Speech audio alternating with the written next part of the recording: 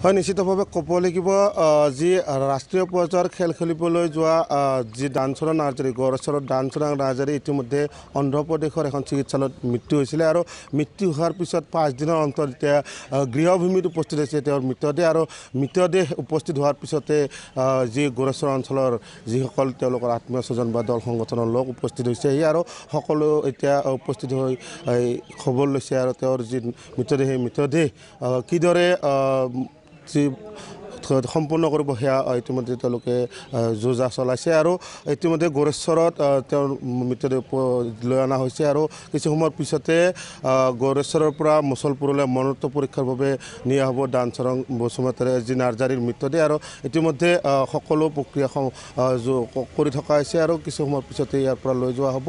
আৰু মোৰ সহযোগী দেখুৱাব এয়া হৈছে গোৰেশ্বৰ থানা চৌহদৰ পৰা যি দৃশ্য সেই দৃশ্য আৰু থানাৰ চৌহদত এইদৰে তেখেতৰ মৃতদেহ ৰাখি থোৱা হৈছে আৰু তেওঁৰ যি মৰণোত্তৰ পৰীক্ষাৰ বাবে আৰক্ষীয়ে ইয়াৰ পৰা লৈ যোৱা হ'ব লৈ যাব মুছলপুৰলৈ আৰু মুছলপুৰলৈ লৈ গৈ ইতিমধ্যে মৰণোত্তৰ পৰীক্ষা কৰিব বুলি জানিব পৰা গৈছে। আৰু শোকাকুল পৰিৱেশ গোৰেশ্বৰৰ অঞ্চলৰ শোকাকুল পৰিৱেশ কিয়নো একেবাৰে দৰিদ্ৰ পৰিয়ালৰ আছিলে দানচোৰাং নাৰ্জাৰী আৰু একেবাৰে দৰিদ্ৰ পৰিয়াল হোৱা গতিকে এ, তেওঁৰ মৃতদেহ তেওঁৰ মৃতদেহ আনিব পৰা নাছিলে গৃহভূমিলৈ আৰু তেওঁৰ স্বগৃহলৈ আনিব পৰা নাছিলে।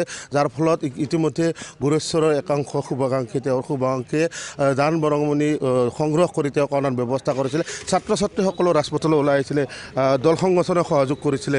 কি ক'ব একেবাৰে দৰিদ্ৰ পৰিয়ালৰ দান চোৰাং নাৰ্জাৰী গোৱাত কিক বক্সিং খেলিবলৈ গৈছিলে। ৰাষ্ট্ৰীয় পৰ্যায়ৰ খেলত অংশগ্ৰহণ কৰি সোণৰ পদক লৈ তেওঁ মৃতদেহ উপস্থিত হৈছে। স্বগৃহত স্বগৃহভূমিত কি ক'ব? বহুত দুখলগীয়া মানে ঘটনা ঘটিল। যোৱা এক তাৰিখে মানে তেওঁ মানে হঠাৎ ট্ৰেইনত আহি থকা টাইমত গোদাবৰী ৰেলৱে ষ্টেচনত হঠাৎ বমিটিং আৰু সেই মানে ডায়েৰিয়া টাইপৰ নিচিনা অলপ হ'ল। তাৰ পৰা ষ্টেচনৰ পৰা ট্ৰেইন ট্ৰেইনৰ পৰা নমাই তাৰ ষ্টেচনতে মানে এখন মেডিকেলত মানে চৰকাৰী মেডিকেলত তাক ভৰ্তি কৰালে। তাক তাত ঠিক তেনেকুৱা আই চি ইউৰ ব্যৱস্থা নাছিলে। চ' মানে তাতে দুঘণ্টামান থাকি তেওঁ ঢুকালে মানে। তো তাৰ পৰা ইনফৰমেশ্যন আহিল কি তেওঁ ঢুকাল। আমি ইয়াৰ পৰা যা জগৰ কৰিলোঁ। কেনেকৈ আনাৰ ব্যৱস্থাটো কৰা যায়। তাতে আমি স্পৰ্টছ এছ'চিয়েশ্যনক ইনফৰমেশ্যন দিলোঁ। আছাম আৰু অন্ধ্ৰপ্ৰদেশ তাৰপৰা তেখেতলোকে অলপমান হেল্প কৰিছিল তথাপিও মানে কমপ্লিটলি কৰিব নোৱাৰিলে তেখেতলোকে। মৃত্যু চৰি তাৰপিছত পি এম কৰিব লাগিছিলে ফ্লাইটত আনিবৰ কাৰণে। চ' পি এমৰ কাৰণে তাত মানে জগৰ কৰিব নোৱাৰিলে। মেডিকেলত মানে পি এমৰ ব্যৱস্থা নাছিলে। তাৰপিছত আমি এম্বুলেঞ্চ কণ্টেক্ট কৰিলোঁ ইয়াৰ পৰা। তাত ক'লে কি ইহঁতে আনিব পাৰিব কিন্তু দুদিন টাইম লাগিব। চ' আমি সেইটো ব্যৱস্থাই ল'লোঁ আৰু। মানে বেলেগ ৰাস্তা নাছিল আমাৰ হাতত। তাৰপিছত ফাইনেন্সিয়েলি মানে আমাক বি টি চি প্ৰশাসনৰ B C B T C মানে চিফ আৰু এম চি এ ছাৰে হেল্প কৰিলে যথেষ্ট। আৰু এছ ডি চি বাইদেউ আৰু এ ডি চি ছাৰক মানে ধন্যবাদ দিব লাগিব। বহুতখিনি যথেষ্ট হেল্প দিলে। আৰু আপোনালোকক নিউজ পৰ্টেল যোগেদি মই ক'ব বিচাৰোঁ যে গৰেশ্বৰ গৰেশ্বৰৰ যিমানখিনি মানে পেপাৰ মিডিয়া আৰু নিউজ পৰ্টেল আছে যথেষ্টখিনি প্ৰচাৰত মানে হেল্প কৰিলে। মানে যাতে এই ইনফৰমেশ্যনখিনি মানে আছামত এতিয়ালৈকে বহুতখিনি স্প্ৰেড হৈছে। এতিয়া স্পৰ্টছ মিনিষ্টাৰো গম পাইছে ঘটনাখিনি চবখিনি আছামৰ এতিয়া ছাত্ৰ ছাত্ৰীসকলো ৰাজপথলৈ নামি গৈছিলে ইমান তেওঁৰ যি জনপ্ৰিয়তা বিভিন্ন খেল অংশগ্ৰহণ কৰিছিলে। ৰাষ্ট্ৰীয় জিলা আন্তঃৰাষ্ট্ৰীয় সকলো খেলতে অংশগ্ৰহণ কৰি মেডেল তেওঁ সুনাম অৰ্জন কৰিব সক্ষম হৈছিলে কি ক'ব? তেওঁ এনে সৰু কালৰ পৰাই বহুতখিনি মানে খেলৰ লগত মানে যোগা জড়িত আছিলে। আৰু কলেজত পঢ়া টাইমত তেওঁ এন চি চি লৈছিলে। চ' মানে গড়েশ্বৰ এৰিয়াত মানে বহুতখিনি ছাত্ৰ ছাত্ৰীয়ে তাক চিনি পাইছিলে আৰু। চ' মানে সেই ইয়াক তাৰ প্ৰতি মৰম চব বহুতৰে আছিলে। ছাত্ৰ ছাত্ৰী আৰু চবৰ লগতে ভাল কথা পাতে তেওঁ মাত দিয়ে। চ' বহুতে তাইক চিনি পোৱা তাক চিনি পাইছিলে আৰু। হয় নিশ্চিতভাৱে এয়া এইদৰে আহ, তেওঁলোকৰ যি আত্মীয় স্বজন বা দল সংগঠনৰ লোক উপস্থিত হৈছিলে আৰু গোৰেশ্বৰত এতিয়া শোকাকুল পৰিৱেশ আৰু ডানচোৰাং নাৰ্জাৰীৰ মৃতদেহ এতিয়া গৃহভূমিত উপস্থিত হৈছে আৰু মৰণোত্তৰ পৰীক্ষাৰ বাবে গোৰেশ্বৰ আৰক্ষীয়ে মুছলপুৰলৈ প্ৰেৰণ কৰিব আৰু মুছলপুৰলৈ প্ৰেৰণ কৰাৰ পিছতে তেওঁৰ নশ্বৰ দেহ ইতিমধ্যে তেওঁৰ মৃতদেহ ঘৰত উপস্থিত হ'ব স্বগৃহত হস্তান্তৰ কৰিব আৰু গোৰেশ্বৰ ক্ৰীড়া সন্থাৰ বিষয়ববী আছে। মই আপোনাৰ পৰা জানিব বিচাৰিম একেবাৰে সুদক্ষ খেলুৱৈ বুলি ক'ব ক'লে ভুল নহ'ব। ৰাষ্ট্ৰীয় পৰ্যায়ত এতিয়া সোণৰ পদক অৰ্জন কৰি এতিয়া সোণৰ পদক হোৱা মৃতদেহ স্বগৃহত উপস্থিত হৈছেহি কি ক'ব সঁচাকৈ আমাৰ গোৰেশ্বৰবাসীৰ তথা গোটেই অসমবাসীৰ কাৰণে এটা দুখৰ খবৰ। আমি সকলোৱে মৰ্মাহত হৈছোঁ। সকলো দল সংগঠনে মানে শোক প্ৰ- শোক প্ৰকাশ কৰিছে। যিটো হৈ গ'ল হৈ গ'ল বাৰু ভগৱানৰ যি ইচ্ছা আছিল সেইটো হ'ল। কিন্তু পৰৱৰ্তী সময়ত পৰিয়ালটোৰো যাতে কিবা এটা ভাল হয় এইটো আমি আশা কৰিছোঁ। লগতে সকলো দল সংগঠন ৰাজনৈতিক নেতা পালি নেতাৰ পৰা আদি কৰি চৰকাৰৰ তৰফৰ পৰা আমি খেলুৱৈগৰাকীৰ উচিত মৰ্যাদা দিয়াৰ কাৰণে আহ্বান জনাইছোঁ আৰু পৰিয়ালটোক চোৱা চিতা কৰাৰ কাৰণে অকণমান সকাহ দিয়াৰ কাৰণে আহ্বান জনাইছোঁ। মই আপোনাৰ পৰা জানিছোঁ কি ক'ব? এইটো খুব আমাৰ কাৰণে দুখৰ কথা আমাৰ এই অঞ্চলটোৰ কাৰণে দুখৰ কথা। এজন মানে ভৱিষ্যতৰ এজন দক্ষ খেলুৱৈ আমি হেৰুৱাব লগা হ'ল। এতিয়া পৰৱৰ্তী সময়ত পৰিয়াল হিচাপে বা তেওঁৰ যিখিনি সন্মান তেওঁ পাব লাগে সেই সন্মানখিনি পালে প্ৰশাসনৰ তৰফৰ পৰাও পালে আমি মানে গড়েশ্বৰ অঞ্চলবাসী বা আমাৰ ক্ৰীড়া খণ্ডৰ বিষয়ববীয়া হিচাপে সেইখিনি সুখী হ'ম। আৰু নিশ্চিতভাৱে আৰু লোক আছে মই দাদা আপোনাৰ পৰা জানিব বিচাৰিম যিহেতু একালৰ প্ৰাক্তন ছাত্ৰ নেতা আছিলে বা সংগঠনৰ নেতৃত্ব বহন কৰিছিলে। আজি ধানচুৰং নাৰ্জাৰীৰ মৃতদেহ অ, পাঁচ দিনৰ অন্তত আহিছে। এই কথাই ক'ব লাগিব যে তেখেতৰ আৰ্থিকভাৱে দুৰ্বল পৰিয়ালে একো কৰিব নোৱাৰাৰ বাবে এইদৰে মৃতদেহ পাঁচ দিনৰ অন্তত আহি অৱশেষত উপস্থিত হৈছে স্বগৃহভূমিত।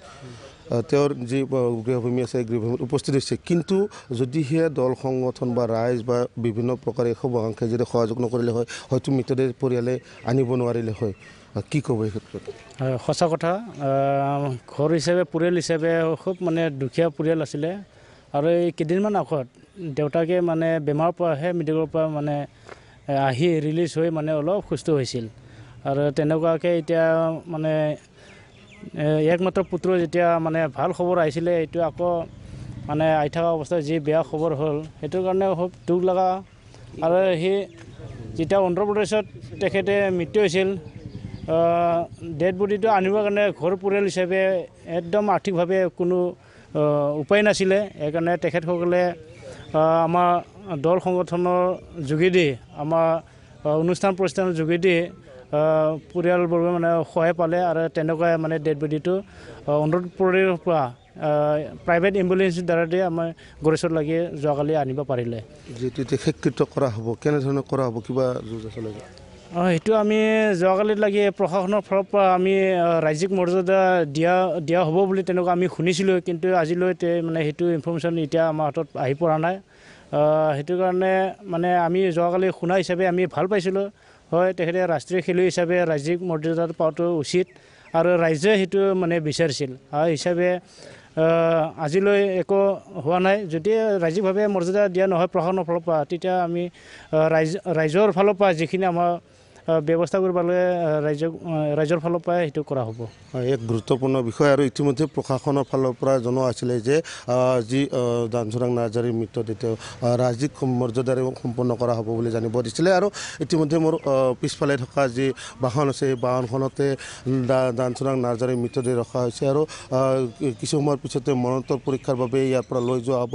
মুছলপুৰত তেওঁৰ মৰণোত্তৰ পৰীক্ষা সম্পন্ন কৰি যি তেওঁৰ পৰিয়ালক গতাই দিব মৃতদেহ। আৰু ইতিমধ্যে গড়চৰ থানাত এইদৰে ৰখা হৈছে আৰু ৰাতি আহি পৈছিলে তেখেতৰ মৃতদেহ আৰু অ, ৰাতিয়ে অনা হৈছিলে আৰু বিভিন্ন দল সংগঠন ৰাইজৰ সহযোগত ইতিমধ্যে তেওঁৰ মৃতদেহ পাঁচদিনৰ অন্তত এতিয়া এইদৰে গড়েশ্বৰত উপস্থিত হৈছে আৰু সকলো এতিয়া শোকাকুল পৰিৱেশ বিৰাজ কৰিছে। গড়েশ্বৰ সকলোতে এতিয়া শোকাকুল পৰিৱেশ আৰু যিধৰণে প্ৰশাসনে ব্যৱস্থা ল'ব হৈছিল সেয়া কিছু বিলম্ব হোৱাৰ অভিযোগ উত্থাপন কৰিছে আৰু তেখেতৰ যি মৰ্যাদা দিব লাগে সেয়া মৰ্যাদাৰো এতিয়া দুধুৰ মুধুৰ অৱস্থাত আছে কিদৰে ৰাজ্যিক মৰ্যাদা দিব নে কি দিব সেয়া এতিয়া ৰাইজে গম পোৱা নাই। তথাপিও কিন্তু অঞ্চলটোৰ ৰাইজে একত্ৰিত হৈ যি দেশৰ স্বীকৃত সম্পন্ন কৰাৰ যো জা চলাইছে আৰু প্ৰশাসনক আহ্বান জনাইছে যে পৰিয়ালটোক এটা উচিত যি সাহাৰ্য প্ৰদান কৰি বা উচিত ব্যৱস্থা কৰি তেওঁলোকক সংস্থাপনৰ ব্যৱস্থা কৰিবৰ কাৰণেও দাবী জনাইছে।